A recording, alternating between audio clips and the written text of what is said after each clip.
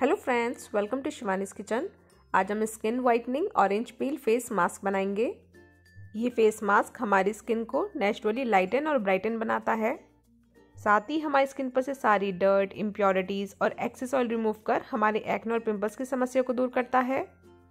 ये हमारे dark spots और एक्ने स्कार्स को रिड्यूस करता है। प्लस इसके रेगुलर यूज़ से हमारी स्किन एकदम फ्लॉलेस स्पॉटलेस और ग्लोइंग हो जाती है। तो आइए इस मैजिकल फेस मास्क को बनाना शुरू करते हैं। ऑरेंज पील फेस मास्क बनाने के लिए मैंने एक संतरे के छिलके को इस तरह एक बाउल में ले लिया है। तो सबसे पहले हम एक ग्राइंडिंग जार लेंगे और इसमें संतरे के छिलके को इस तरह छोटे छोटे पीस करके डालेंगे ताकि एकदम आसानी से ग्राइंड हो जाएँ। तो जैसा कि आप लोग देख सकते हैं कि हमें फेस मास्क बनाने के लिए फ्रेश ऑरेंज पील का यूज़ कर रही हूँ। पर अगर आपके पास ये फ्रेश नहीं है तो आप इसकी जगह ऑरेंज पील पाउडर का भी यूज़ कर सकते हैं। तो यह मैंने सारे संतरे के छिलके को ग्राइंडिंग जार में छोटे छोटे पीस करके डाल दिया है। तो अब हम इसमें ये एक चम्मच के करीब गुलाब जल ऐड करेंगे। गुलाब जल हमारे स्किन के पीएच लेवल को बैलेंस करता है और साथ ही हमारी स्किन को किसी भी तरीके के इन्फेक्शन होने से भी बचाता है। तो बस अब हम जार का ढक्कन लगा के इन अच्छे से ग्राइंड कर लेंगे। तो यहाँ आप देखिए, मैंने ऑरेंज पील को ग्राइंड करके इसका फाइन पेस्ट बना लिया है। तो चलते हैं नेक्स्ट स्टेप पर। तो अब हम एक क्लीन बोल में ये एक चम्मच ऑरेंज पील का पेस्ट लेंगे। ऑरेंज पील हमारी स्किन पर as a natural bleaching agent का काम करता है। इसलिए ये हमारे स्किन कॉम्प्लेक्शन को तो इम्प्रूव करता ही है, साथ ही हमारी स्किन को बहुत ही यूथफुल और ब्राइटर भी बनाता है। साथ ही हमारे स्किन को डीप क्लीन कर हमारे वाइट हेड्स ब्लैक हेड्स और ओपन पोर्स की समस्या को भी एकदम जड़ से ख़त्म कर देता है। नेक्स्ट अब हम इसमें ये एक पिंच टर्मरिक यानी कि हल्दी पाउडर ऐड करेंगे। हल्दी में एंटी बैक्टीरियल प्रॉपर्टीज़ होती हैं। ये हमें एक्ने और पिंपल्स होने से बचाती है। प्लस इसके रेगुलर यूज़ से हमारी स्किन बहुत ही रेडियंट हो जाती है। नेक्स्ट अब हम इसमें ये एक चम्मच शहद, यानी कि हनी ऐड करेंगे।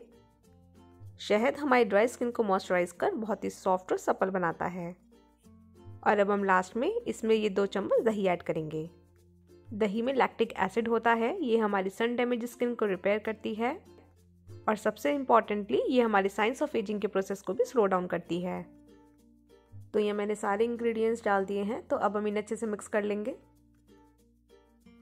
तो ये मैंने सारी चीज़ों को अच्छे से मिक्स कर लिया है। हमारा ऑरेंज पील मास्क बनकर एकदम रेडी हो चुका है। तो चलिए अब मैं आपको बताती हूँ कि आपको इसको कब और कैसे अप्लाई करना है।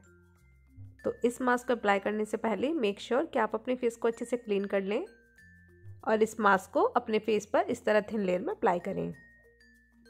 और इसे इस तरह अच्छे से अप्लाई करने के बाद आप इसे अपने फेस पर 10 से 15 मिनट के लिए लगा छोड़ दें या फिर जब तक लगा रहने दें, जब तक कि अच्छे से ड्राई नहीं हो जाता। और 15 मिनट बाद आप अपने फेस को ठंडे पानी से वॉश कर लें। और इसके एप्लीकेशन के तुरंत बाद ही आप देखेंगे कि आपकी स्किन पहले से कहीं ज़्यादा लाइटन ब्राइटन और वाइटन लगने लगेगी और साथ ही आपकी स्किन पर एक अलग ही तरीके का निखार आ जाएगा। पर अगर आप इस फेस मास्क के 100 परसेंट इफ़ेक्टिव रिज़ल्ट पाना चाहते हैं तो आप इसे हफ़्ते में कम से कम तो दो बार अप्लाई ज़रूर करें। इसके रेगुलर यूज़ से आपके एक्ने और पिंपल्स की समस्या दूर हो जाएगी। साथ ही आपके dark spots acne scars pigmentation sun tan और ओपन पोर्स भी धीरे धीरे रिड्यूस होने लगेंगे। तो आप भी इस मास्क को एक बार ज़रूर बनाइएगा और इसका रेगुलर यूज़ कीजिएगा, क्योंकि तभी आपको पता लगेगा कि ये कितना इफ़ेक्टिव है। तो आप भी एक बार ट्राई ज़रूर कीजिएगा और मेरे को कमेंट सेक्शन में कमेंट करके ज़रूर बताइएगा कि आपको मेरी ये रेसिपी कैसी लगी और मेरी वीडियो को लाइक और शेयर करना ना भूलिएगा और मेरे चैनल को सब्सक्राइब ज़रूर कीजिएगा। धन्यवाद।